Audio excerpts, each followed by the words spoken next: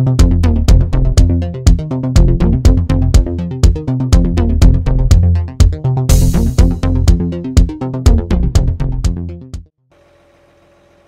YouTube, welcome back to my channel. Today we're going to be talking about something that I've been asked most frequent in my comments is how to delete a route on auto drive. First thing we're going to do is we're going to open up the editing menu. As you can see I've changed it to final. This is the existing route that we've got from this previous tutorial series. So what I'm going to do is I'm just going to create another route. I'm just going to do a simple circle.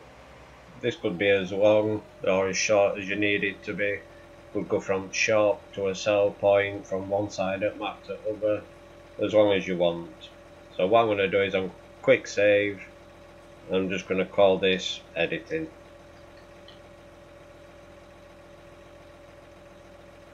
Save that. Now if you look we've got both routes here saved. I go into editing one quick load. You'll see it loads them both up. I go into final one quick load it just loads up the final one.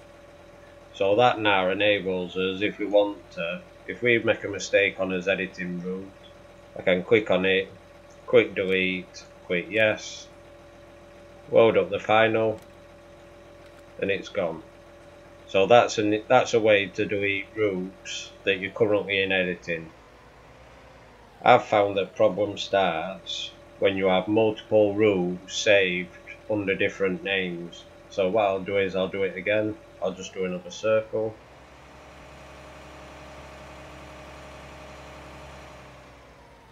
Stop that. I'll save that as editing. Go back out.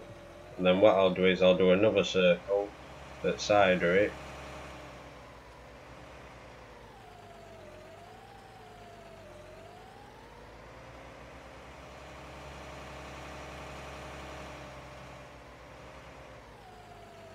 and what I'll do is I'll call this editing 2 save that. As you can see now we've got final editing which is the first circle we did and editing 2 which is the second circle. So now if I wanted to do the first circle I can go on to editing and I can delete it. Click yes go back but then you can still see it's there. If I go on to final. Load both circles have gone. What I've found is when you save a file or you save a route like this editing 2 if I load that up you can see both circles are there. What I've found is when you save it whatever waypoints you've got plotted on your map when you save that route it'll save everything under that file. So I can go on to final and load that and it'll just load that route because that's all that were there when I saved that route. But if I go on to editing 2 and load that as you can see it's got a final route it's got editing 1 and it's got editing 2 because they were both in place when I created the second one.